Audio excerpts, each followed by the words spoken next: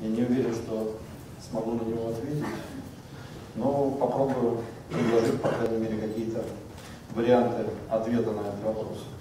Мне кажется, что а, здесь, в Берлине, в Германии, так же, как в Москве и в России, а, та тема, которую мы избрали сегодня в нашем форуме, последние 20 лет оказалась какой-то особенно драматической. А, как раз а, через наши страны, по-моему, больше, чем через какие-то другие новейшие истории прошли самые сложные, часто и самые болезненные, масштабные исторические процессы. Наверное, поэтому э, разумно вот тему, которую поставлена сегодня, обсуждать здесь, вместе с э, нашими немецкими друзьями, многих из которых э, лично знаю, для меня приятно их видеть, точно так же, как и российских друзей, российских коллег, собравшихся здесь сегодня. Организаторы попросили меня э, сказать несколько слов на тему взаимодействия государства бизнеса и гражданского общества. И вот я подумал, готовясь к сегодняшнему разговору, что это, наверное, такая правильная постановка.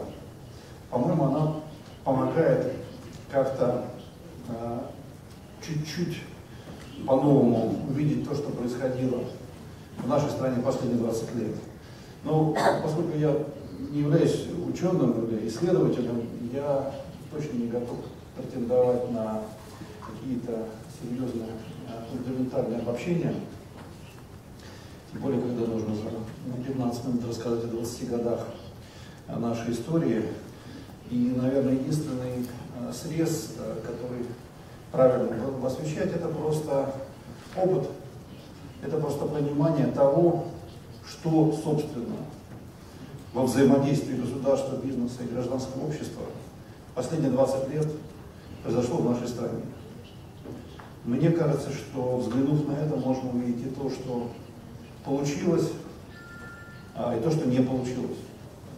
Мне кажется, можно увидеть и то, что а, уже ушло в историческое прошлое, а возможно и что-то из того, что предстоит нам всем в будущем.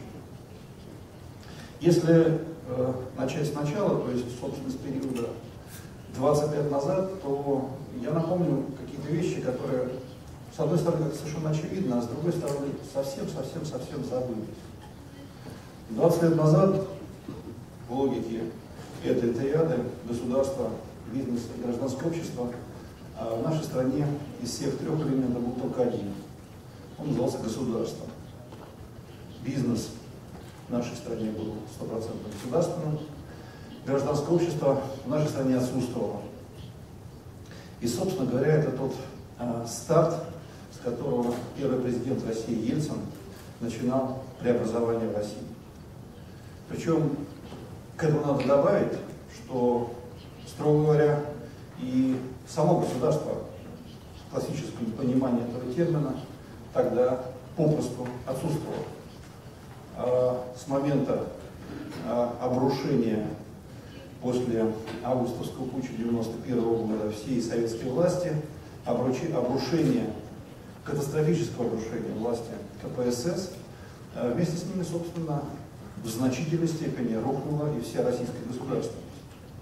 Так что если уж совсем строго, вот в логике этой триады, анализировать старт, то, с чего Борис Николаевич начинал, то можно без всякого привлечения сказать, что в стране не было государства, не было бизнеса, не было гражданского общества.